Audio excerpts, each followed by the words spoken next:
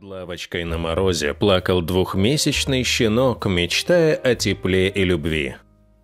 Сперва Татьяне показалось, что ей послышался едва уловимый писк, но затем звук повторился. Девушка, которая вышла на прогулку с семьей, сразу насторожилась. Люди прислушались, и жалобный писк вновь повторился. «Это может быть только щенок», – подумали они. Немедля ни минуты все отправились на поиски крохи. Неравнодушие людей подстегивалось еще и тем фактом, что на улицах Харькова в тот вечер стоял мороз. Оставить животное на улице означало обречь его на верную гибель. Вскоре плакса была найдена, малышка спряталась под лавочку, будто бы там теплее. На вид ей было около двух месяцев, и Татьяна тут же взяла питомицу на руки, засунула под куртку и понесла домой. Девушке кажется, что ее семья в тот вечер нашла метиса Ротвейлера. Кроха пока что находится дома у Тани. Та выкупала щенка, обработала от паразитов и глистов и хорошенько откормила. Малышка, на удивление, ласковая, контактная и очень-очень добрая. И, конечно, Татьяна не теряет надежды пристроить питомицу в ответственные руки. Она уверена, что такая красотка заслуживает самой лучшей жизни.